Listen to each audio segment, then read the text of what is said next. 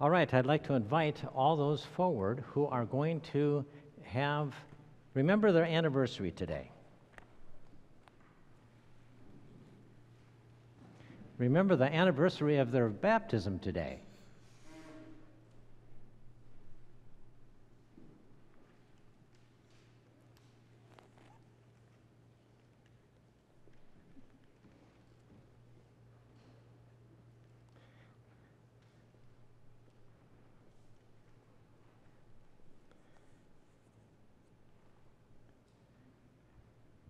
Good morning. When God claimed this beloved young person in holy baptism, we made sacred promises. Parents promised to faithfully bring our children to worship, to teach them the Lord's Prayer, the Creed, and the Ten Commandments, to place in their hands the Holy Scriptures and to provide for their instruction in the Christian faith. Sponsors, godparents, and this congregation promised in the Christian faith and to support them and pray for them in their new life in Christ. Today, we keep our promises. The congregation may be seated. And now, what I want you par- parents to do for little August is each time I read something, I want you to make the sign of cross. Dip your finger in the baptismal font, and I will begin. That you may hear, that August may hear the good news of Christ, the Word of God.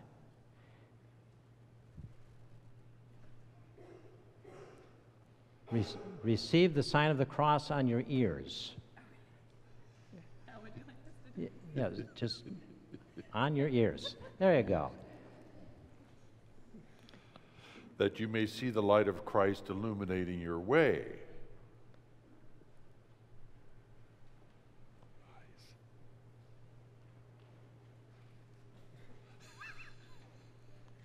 We have to get Lucy up here with you, August, so you won't be alone.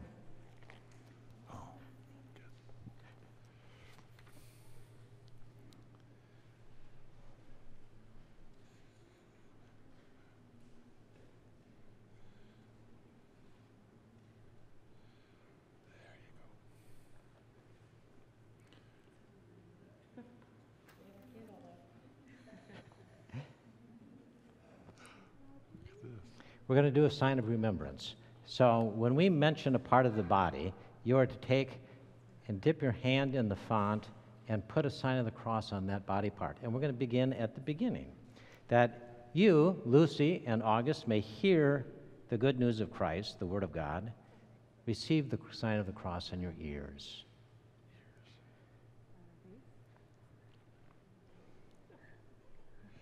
That you may see the light of Christ illuminating your way. Receive the sign of the cross on your, on your eyes. That you may sing the praise of Christ, the joy of the church. Receive the sign of the cross on your lips.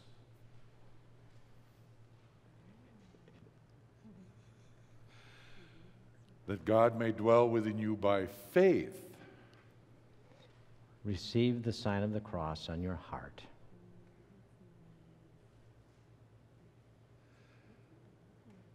That you may bear the gentle yoke of Christ in serving. Receive the sign of the cross on your hands.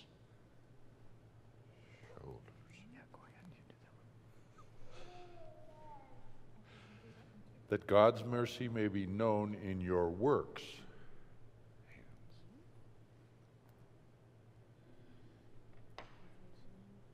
Receive the sign of the cross on your shoulders this time. That you may follow in the way of Christ, receive the sign of the cross on your feet.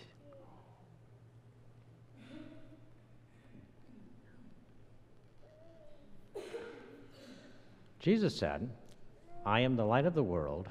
Whoever follows me will have the light of life. We're going to light your baptismal candles.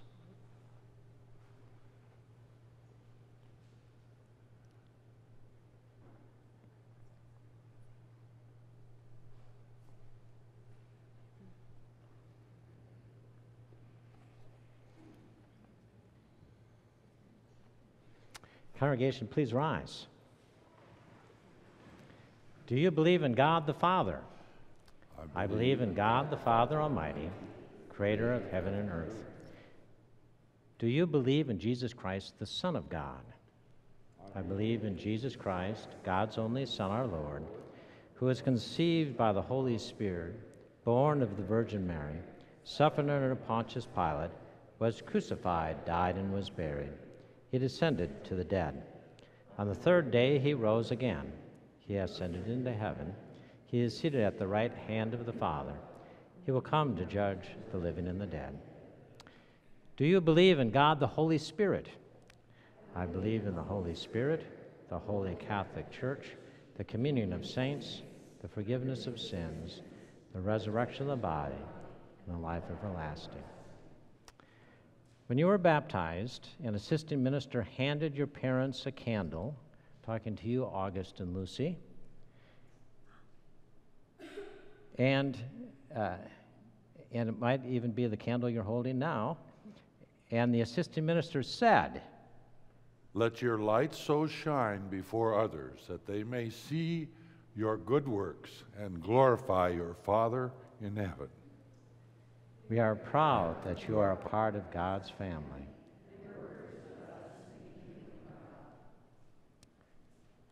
Gracious God, we thank you for the new life you give us through holy baptism.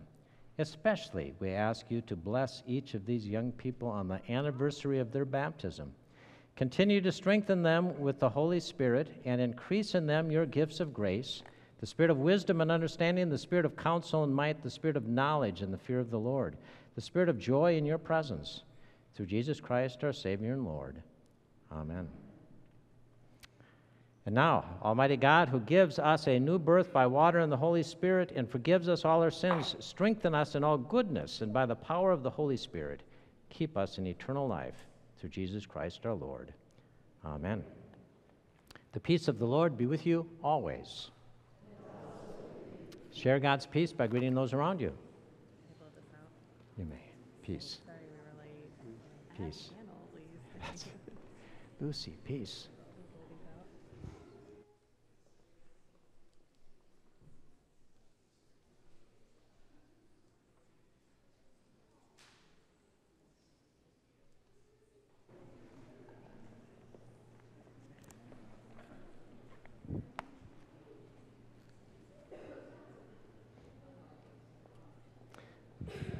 Yeah, you may be seated.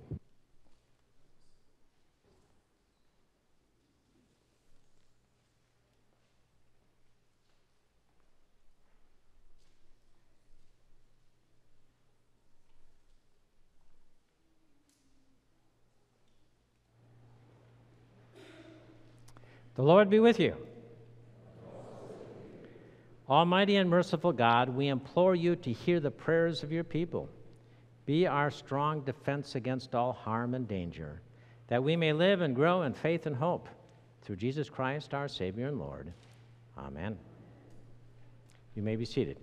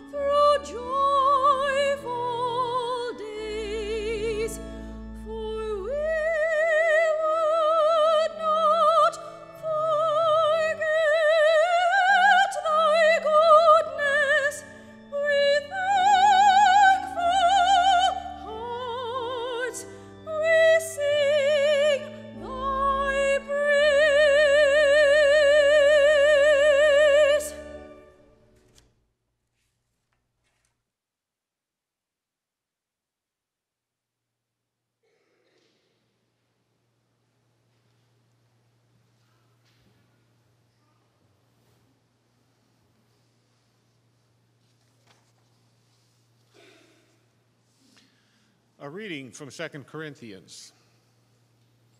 Now, as you excel in everything, in faith, in speech, in knowledge, in utmost earnestness, and in love for you, and in our love for you, so we want you to excel also in this generous undertaking. I do not say this as a command, but I am testing the genuineness of your love against the earnestness of others. For you know the generous act of our Lord Jesus Christ, that though he was rich, yet for your sakes he became poor, so that by his poverty you might become rich. And in this matter I'm giving my advice.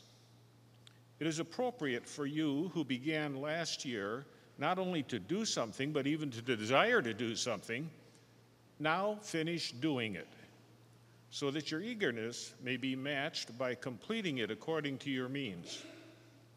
For if the eagerness is there, the gift is acceptable according to what one has, not according to what one does not have. I do not mean that there should be relief for others and pressure on you, but it is a question of a fair balance between your present abundance and their need, so that their abundance may be for your need, in order that there might be a, a fair balance. That is, it, as it is written, the one who had much did not have too much, and the one who had little did not have too little. The word of the Lord.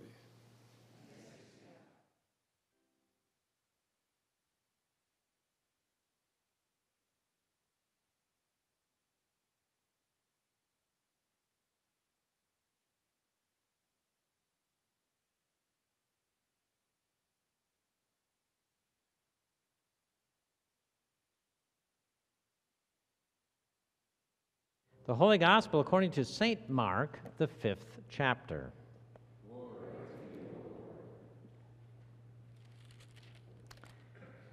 When Jesus had crossed again in the boat to the other side, a great crowd gathered around him, and he was by the sea. Then one of the leaders of the synagogue, named Jairus, came and, when he saw him, fell at his feet and begged him repeatedly, My little girl is at the point of death. Come and lay your hands on her, so that she may be made well and live. So he went with him, and a large crowd followed him and pressed in on him. Now there was a woman who had been suffering from hemorrhages for 12 years. She had endured much under many physicians and had spent all that she had, and she was no better, but rather grew worse. She had heard about Jesus and came up behind him in the crowd and touched his cloak. For she said, If I but touch his clothes, I will be made well. Immediately her hemorrhage stopped, and she felt in her body that she was healed of her disease. Immediately aware that power had gone forth from him, Jesus turned about in the crowd and said, Who touched my clothes? And his disciples said to him, You see the crowd pressing in on you? How can you say, Who touched me? He looked all around to see who had done it. But the woman, knowing what had happened to her, came in fear and trembling, fell down before him, and told him the whole truth. He said to her, Daughter, your faith has made you well. Go in peace and be healed of your disease. While he was still speaking, some people came from the leader's house to say, Your daughter is dead. Why trouble the teacher any further? But overhearing what they said, Jesus said to the leader of the synagogue, Do not fear, only believe.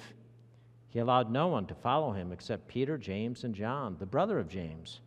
When they came to the house of the leader of the synagogue, he saw a commotion, people weeping and wailing loudly.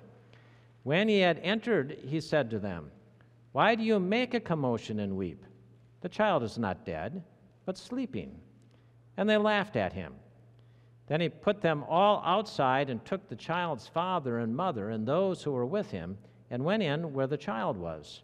He took her by the hand and said to her, Tell, Talitha cum, which means, Little girl, get up.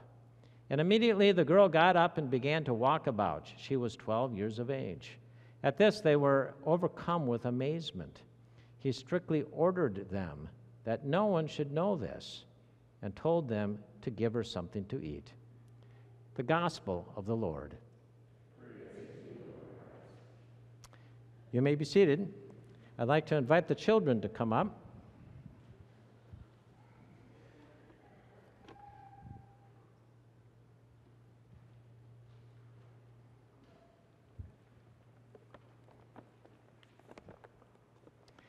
All right, we're going to play a game here.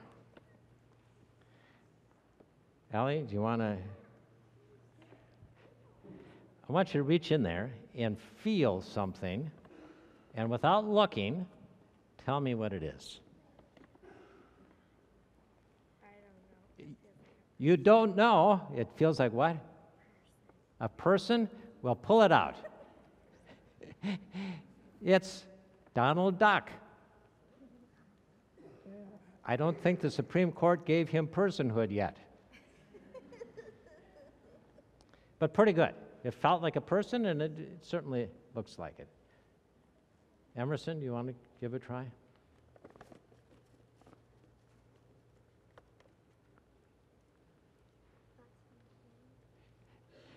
Can you tell what it is?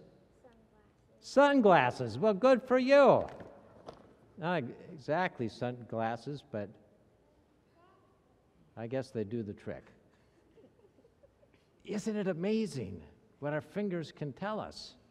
Isn't that amazing? Don't you find that amazing? Audrey, let's see what you can find.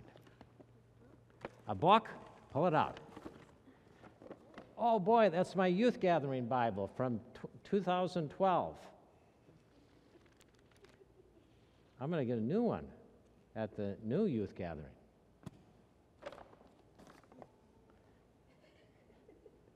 Saying I don't even think I'm going to try. All right, here's the point. Our hands touch is almost, it is miraculous what we can do with our hands. We can see with our hands, right? We can feel and not know what that is, but we can sort of see it in our mind. It feels like a person. It's Donald Duck. Feels like a book. And it was. It feels like sunglasses. See how we can see with our touch? It's just so incredible. And that's, our touch is on all the time. You can't turn it off. We feel all the time. Well, Jesus showed us how important touch was. He was touched by one person, a woman, and as soon as she touched his cloak, she was healed. And then he touched a little girl, 12 years old. Any of you 12 yet? Okay. 12 years old. He touched her. You know what? Jesus wasn't supposed to touch her because a good Jewish person doesn't touch anyone who's dead. But he touched her, and she came alive. Isn't touch wonderful?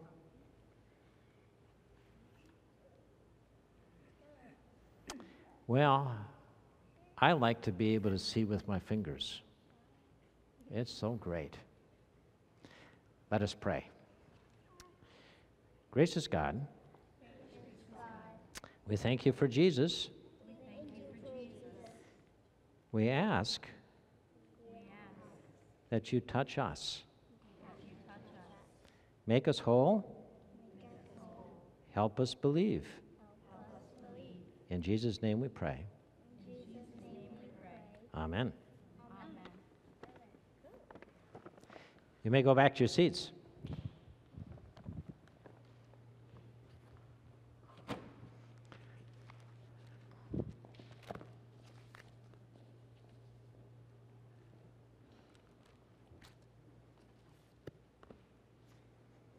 Been a long week. I don't know if your week's been long or not, but mine has. And it's been a, yesterday was a long day. We had a wedding and all other kinds of events. Today we're going to talk about healing and hope. and whether or not we really like healing.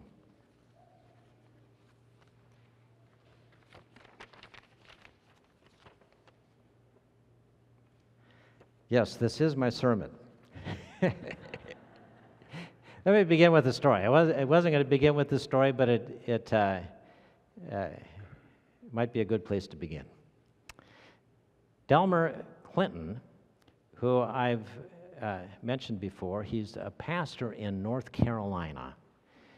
He tells a story one day of uh, he was asked to be the, the pastor, the stewardship pastor at a friend's church. And what that meant was he would go to his friend's church and preach the sermon on the day that they had their consecration Sunday, when everyone brought in their tithes, their, their pledge cards, their commitment cards. So he went and he was the, uh, the stewardship pastor. And the text was a healing text, much like the one we have today. And he said, Oh, if we're going to have that text, we just have to have a healing service and have everyone come that wants to be healed and, and uh, have be anointed with oil and have prayer. Uh, his friend was a little reluctant, but finally said, Okay, we'll do it. It'll be a busy day, but we'll do it all. So they did. And uh, they were surprised that most of the people in the congregation came forward for the healing portion. They, uh, their pledges came in higher than they expected. They had a community meal after the second service. It was a good day. A few weeks later, he, Delmer says he gets a call from his friend, the pastor of that church. He says, You'll never believe what happened. I had a visit from a guy who said, I've never been in a Lutheran church before, but I came for the first time on your commitment Sunday. And he said, I want you to know a little bit about myself. I am a recent parolee from prison. And I vowed that I'm going to start going to church. I need to turn my life around. I'm, going to I'm going to start going to church. And he said, I came to your church because I don't have a car and I could walk to your church. So I said I was there, and I, I decided I was going to participate. I was going to do everything everybody else did. So I got there at the 8 o'clock service, uh, listened to the sermon, went to the, uh, came up for the healing service. I even made filled out a commitment card and made a pledge. And my pledge said, I don't have a job now, but I'll give what I can whenever I can. And he said, I then went to the Sunday school class. And somebody was talking to me there and said, Hey, you need to come to our congregational dinner. So I waited in the library during the second service and I went to the dinner, had a fine time, met a lot of people, and had a fine time. And can you imagine? Left the house before 8 o'clock. I didn't get home until after 3 in the afternoon. And when I got home, I opened the door to my room. He was in a boarding house. And he said, Boy, I look around, and there on the table is the ashtray overflowing with cigarette butts. And I go, oh, I haven't had a cigarette since I left home. I need a cigarette. So he said he went and he lit up a cigarette and he breathed it in and he said, It tasted terrible. I couldn't stand it. I had to put it out. And it came to the pastor and he said, I know what happened to me. When I came forward for healing, he said, You asked me, what do you want healing for? And I, and I said, I want to be cured of my addictions. And he said, But I liked smoking. but I liked smoking. Well, the whole point is Jesus heals heals desperate people, and I guess a corollary to that is that sometimes we don't like to be healed. We want to nurse all of our addictions, and there's certain things that we love that we want to nurse and keep going. This week, past two weeks, have been uh, very tumultuous in a way for our country. We had two Supreme Court decisions this week, which Supreme Court decisions, there's always winners and always losers, and they always cause a, a, a lot of debate and uproar and argument and divisiveness. But we have a great nation that seems to weather all that and uh, work out all those things. But probably the most troubling still is what happened a week ago Wednesday night at Mother Emanuel AME Church in South Carolina. Nine black people killed. Terrible thing. Our country is still reeling from that. But there are hopeful signs. I don't know if you saw the hope. I saw the hope for healing in the funeral. T- two things that uh, bear repeating.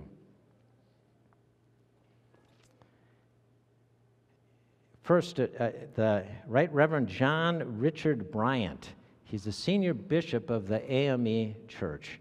And he said this Someone should have told the young man, referring to Dylann Roof, the um, accused killer, somebody should have told the young man he wanted to start a race war, but he came to the wrong place. Now, I don't believe he was referring to South Carolina. I think he was referring to a church.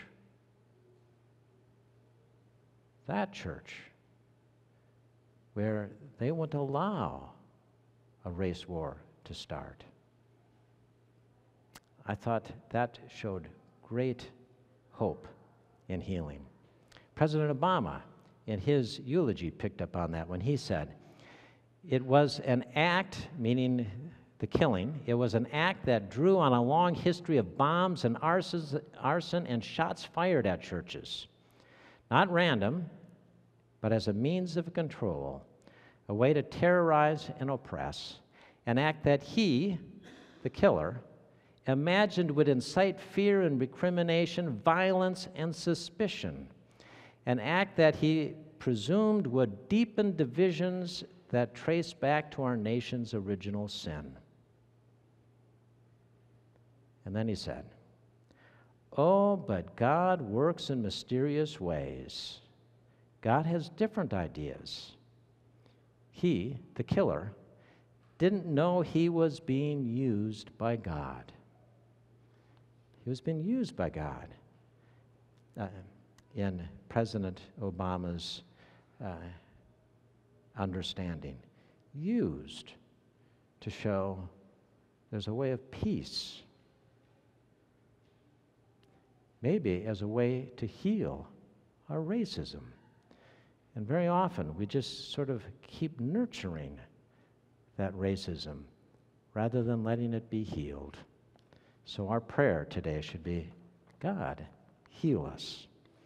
Well, in our text, two people who are desperate people come to Jesus. The first is Jairus, a leader in the synagogue, presumably a rich person. Notice he has a name, the woman didn't have a name. He came and he begged Jesus. Repeatedly, the text says, he begged Jesus to come and heal his daughter.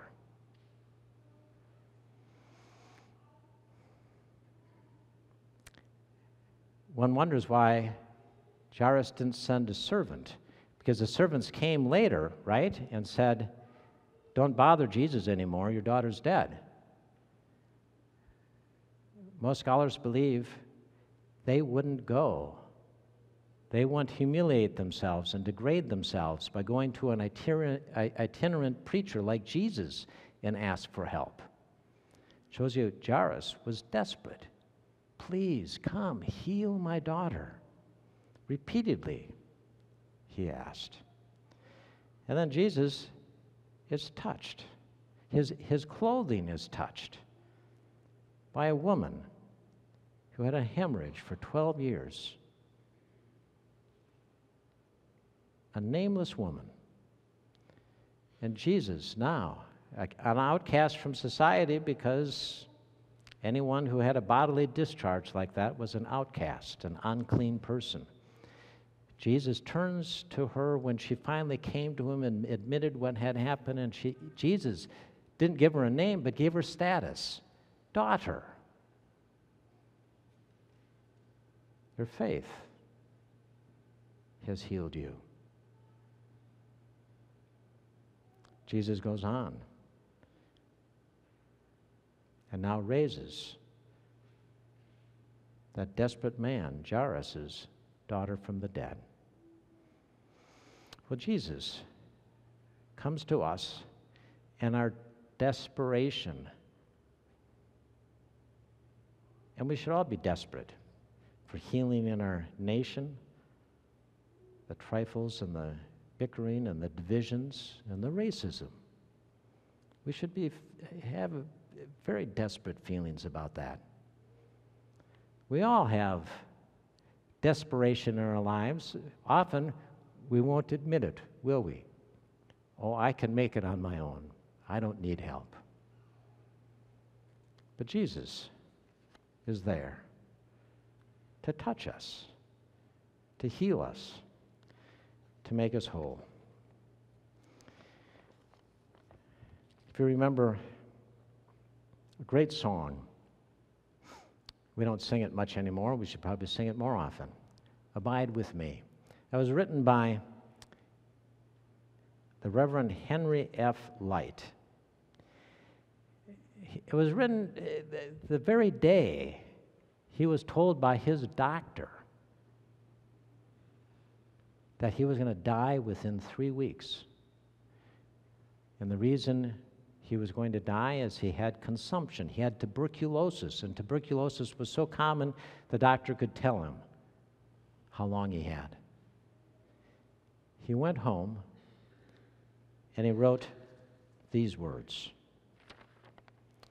I fear no foe at hand to bless. Ills have no weight, no tears, no bitterness. Where is death's sting? Where grave thy victory? I triumph still, if thou abide with me. And then there's one line in the hymn that says it all. When other helpers fail and comforts flee, help of the helpless, oh, abide with me. Jesus heals. He touches us, and He will make us whole. He abides with us. Amen.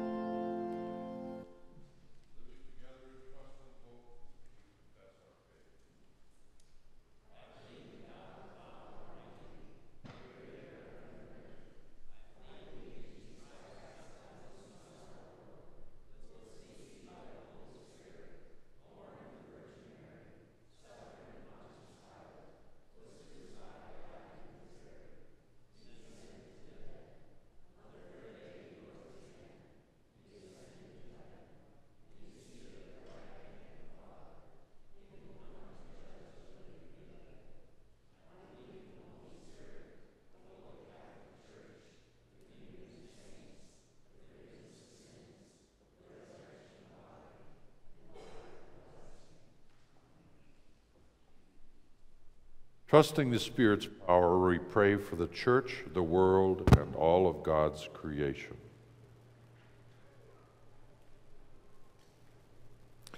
For the Church of Christ, that as we are strengthened in faith, we will be sent forth in. Gracious God, we pray for the healing of our nation, especially the healing of racial division. Lord, in your mercy, God of life, as we near our Independence Day celebration, fill our nation and its leaders with the spirit of freedom. guide us that we may live into the ideals of liberty, healthy liberty, and justice for all.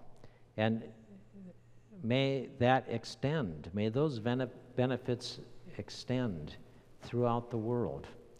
Lord, in your mercy,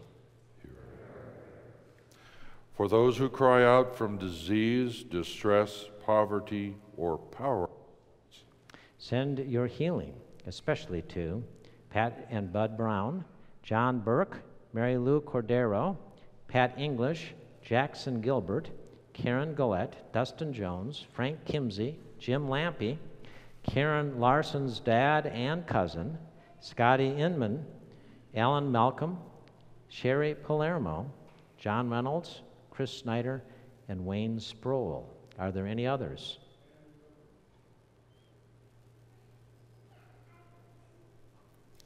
our hearts wait for you with thankful hope as we offer our words of gratitude and praise.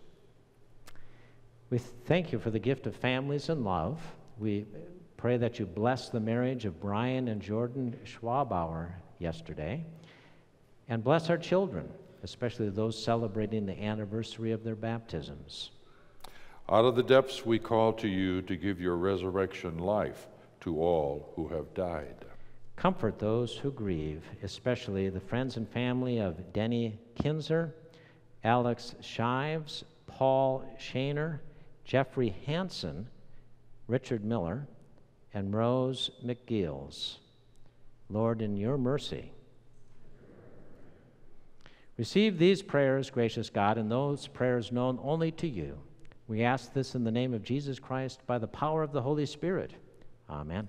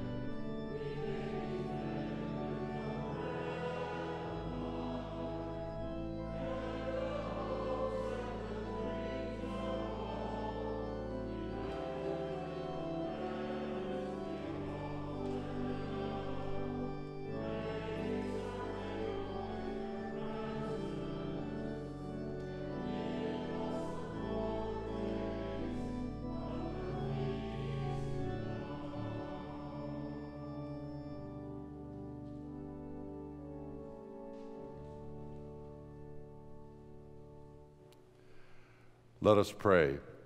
God of mercy and grace, the eyes of all wait upon you.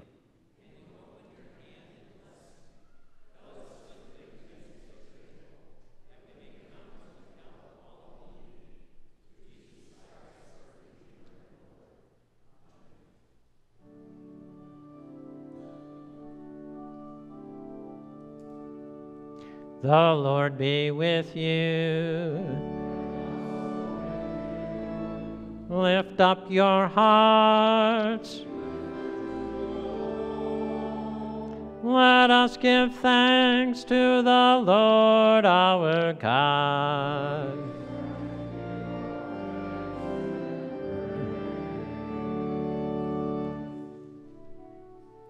It is indeed right and salutary that we should at all times and in all places offer thanks and praise to you.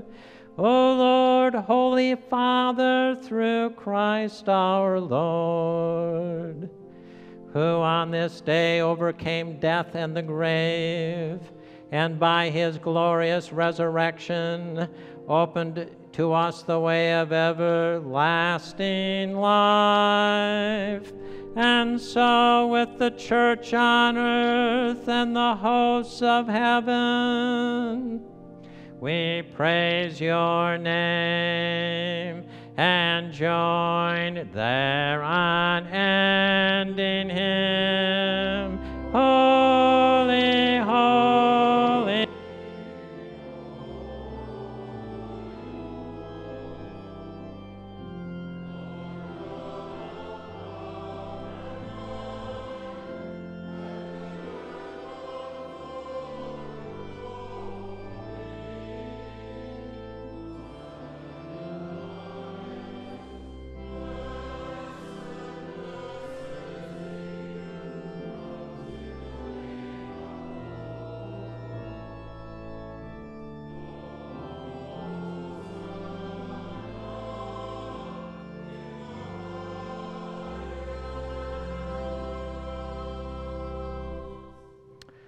Holy, mighty, and merciful Lord, heaven and earth are full of your glory.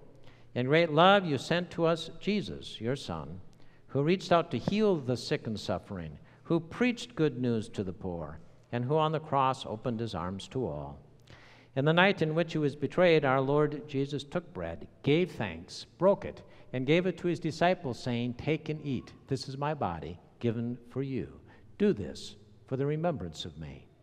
Again, after supper, he took the cup, gave thanks, gave it for all to drink, saying, This cup is the new covenant in my blood, shed for you and for all people for the forgiveness of sin. Do this for the remembrance of me.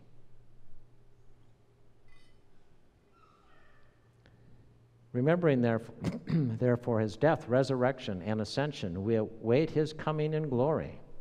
Pour out your Holy Spirit that by this Holy Communion we may know the unity we share with all your people in the body of your Son, Jesus Christ our Lord.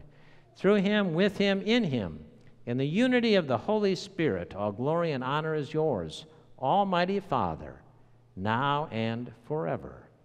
Amen. Lord, remember us in your kingdom and teach us to pray. Our Father, who art in heaven, hallowed be thy name. Thy kingdom come, thy will be done, on earth as it is in heaven.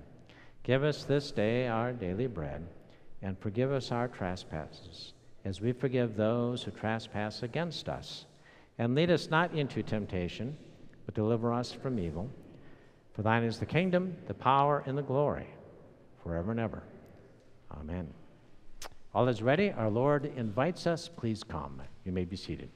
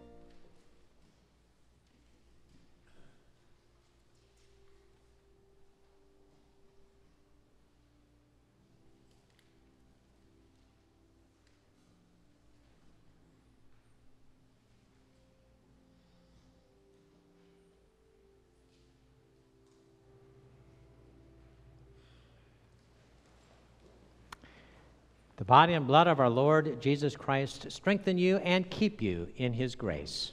Amen.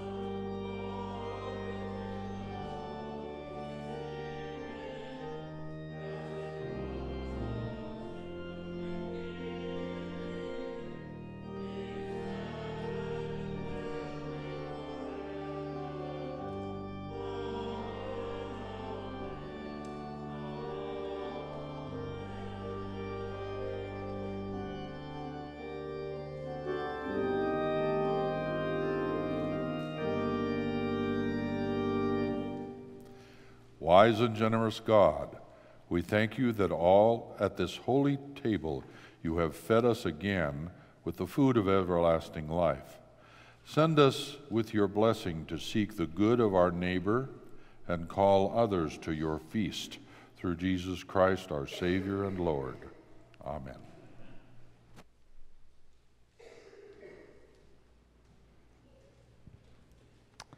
couple of announcements. As you uh, have probably read in here, it says um, Pastor and Mick are on vacation July 2nd through the 4th. It's not exactly a vacation. We're going to Kansas City, but we're leaving. I, I just want to show you how many vacation days I get here. We're leaving late Thursday afternoon so Thursday won't be a vacation day. That's the second. The third is my day off. Anyway, that's Friday. And um, the fourth, I think I deserve a holiday.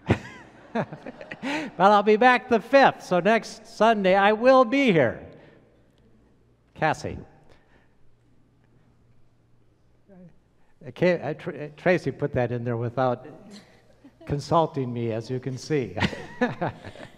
I just had a couple of quick things. On July 12th, we are going to have a youth parent meeting, and we would love for any of you guys that have youth of any ages to come to that meeting. We're going to talk about what we're going to do for staffing and youth ministers and, and that activities and that kind of thing. So we would love to get your input about where we're going forward, and we have some exciting things planned and would like to get everyone's opinion and ideas and that kind of thing.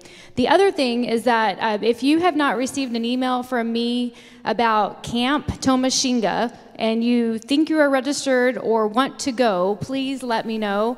Um, to, we want to make sure everybody that wants to go can go and is going. There's, it's not too late to sign up, so uh, let me know. And that uh, camp date, they'll leave on July 12th, the same day we're having the youth meeting. So it's going to be great fun. I know Madison, my older daughter, they absolutely loved it last year. So I would highly encourage your kiddos to go if you have that opportunity. Thank you.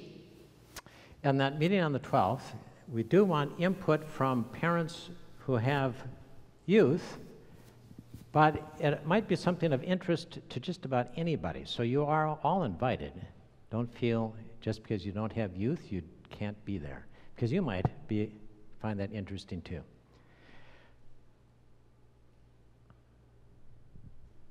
I don't think I have anything more to say, except receive this benediction.